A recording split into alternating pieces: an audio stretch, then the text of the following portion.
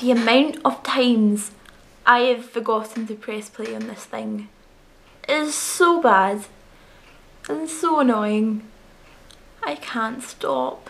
Again, this is another pronunciation that I'm not quite sure of. Um, somebody's channel, Kamal Jara, I think. Um, he made a video recently about unicorns and how much he hates them to like a John Green standard of hate and it reminds me of the fact that in Scotland our national animal is unicorns and I have no idea why so I thought I would make this video in order to educate you but also educate myself in why the hell our national animal is the unicorn. One of the first things I came across when looking up was that a lot of people say that the red lion is also the national animal along with the unicorn but I think that might be a bit wrong. The national animal is only the unicorn but the red lion is what's on our the unofficial national flag. The national flag is the saltire which is what everyone knows is like the white diagonal cross on a blue background the first thing I find on the Unicorn, Unicorn of Scotland, like the first thing that reads is it's a very unlikely choice apparently because like, Scotland isn't very exotic in its views and culture. I don't understand what that actually means, how Scotland isn't exotic. It's not the fact that, that, that it isn't exotic, it's the fact that it doesn't seem to be exotic. Scottish culture is full of superstitions and myths. Apparently, in Celtic mythology, the unicorn of Scotland symbolised innocence and purity, healing powers, joy and sometimes life itself. But it was also seen as a symbol of masculinity and power.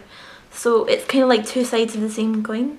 So apparently the unicorn is like a perfect mix of male virility and female nurturing which I think is quite cool. On the modern coat of arms for Britain, you will see a unicorn and a lion. Apparently doing this to the coat of arms symbolised the union of the countries, but the actual union was less than friendly than that. There's a well-known British nursery rhyme, which I've never heard before, about this. The lion and the unicorn were fighting for the crown.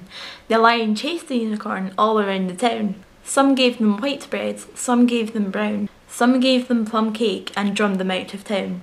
There's a really well-known description of the Scottish unicorn.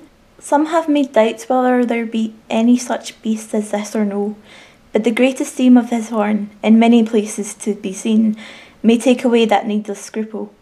The greatness of his mind is such that he rather chooseth to die than be taken alive, wherein the unicorn and the valiant-minded soldier are alike, which both contend death, and rather than they will be compelled to undergo any base servitude or bondage, they will lose their lives.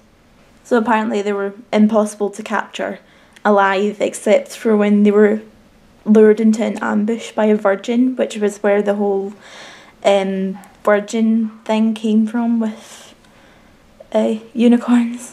So yeah, that was a little bit on the Scottish unicorn. Bye.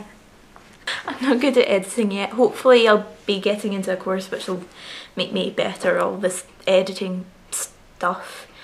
But till that I won't be able to edit anything into the videos because I have no idea how. And I'm still using um, Windows Movie Maker which apparently is like on a par with iMovie I think.